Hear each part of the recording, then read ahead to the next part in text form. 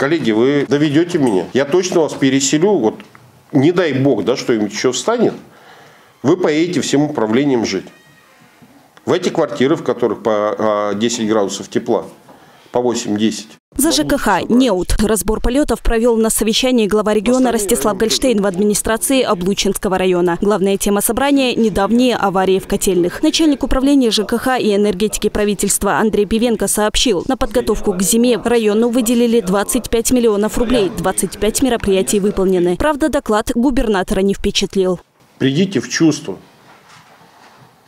25 мероприятий. А мы а, заместитель с Дмитрием Федоровичем Братыненко по ночам сюда ездим. Я готов ездить ночам по поселениям, по котельным готов ездить. Но думаю, только а, никому от этого радостно потом не будет. Вы что делаете? Сначала а, врете себе, врете мне, врете людям.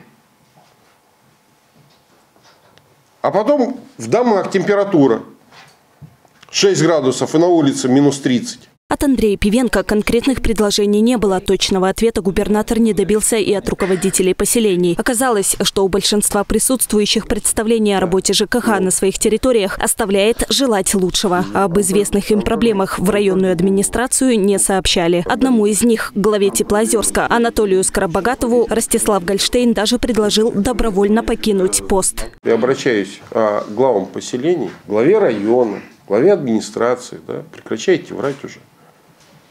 Ну прекращайте. Никогда не проходит на тоненького. Обязательно порвется. Смолодушничали. Вы а, что, как само собой рассосется, а?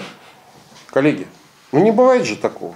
К совещанию не готовы. Такой вердикт вынес Ростислав Гольштейн. Для разработки предложений глава региона дал срок – неделю. Он отметил, такие собрания будут проводиться до тех пор, пока не добьется полного понимания ситуации у присутствующих. Алена Шот, Кирилл Богаченко, Новости 21.